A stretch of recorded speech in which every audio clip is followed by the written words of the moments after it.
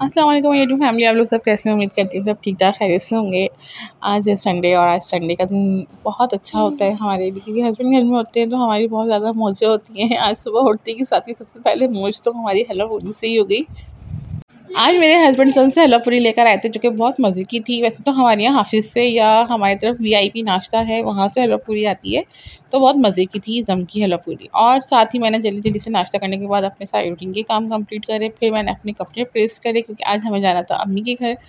और अम्मी के घर जाने के लिए तैयारी के लिए कपड़े सबसे पहले प्रेस करती हूँ, क्योंकि लाइट हमारी चले जाती है यू नो हर वीडियो में मैं आप लोगों को बताती हूँ कि हमारी लाइट चले जाती है। और मैं आपको अपने कपड़ों की डिज़ाइनिंग भी दिखा रही हूँ। ये मेरा बहुत अच्छा कॉटन लॉन का सूट है और मैंने इस पर, इस तरह की डिज़ाइनिंग करवाई थी, लेकिन ये सूट इतना ही ज़्यादा ख़राब निकला, इसका कलर इतना ज़्यादा ख़राब हो गया कि बस आप देख सकते हैं। साथ मेरे हस्बैंड ना लस्सी भी लेकर आए थे नाश्ते के साथ, लेकिन हमने नाश्ते के साथ नहीं पी थी क्योंकि हमने नाश्ते के साथ चाय पीनी थी। चाय हमारे लिए बहुत ज़रूरी होती है। सुबह की चाय लाजमी अच्छी लगती है हमें क्योंकि सारा दिन अच्छा गुजरता है, सर में दर्द नहीं होता और चाय ना पिए तो हमारे सर में शदीद दर्द होना शुरू हो जाता है। तो ये दोपहर का टाइम है और बहुत मज़े की लस्सी थी, बिल्कुल अच्छी और मज़ेदार। साथ ही मैं सोच रही थी शाम में क्या पकेगा तो फिर जी ये है नेक्स्ट डे का व्लॉग मेरे, मैंने बनाई थी बिरयानी शाम में। तो मैंने सोचा इसकी वीडियो भी मैं रिकॉर्ड कर लेती हूँ साथ साथ आप लोगों के साथ बातें भी हो जाएँगी और साथ साथ आप लोग मेरी रेसिपी भी देख लेंगे कि मैं बिरयानी किस तरह से बनाती हूँ।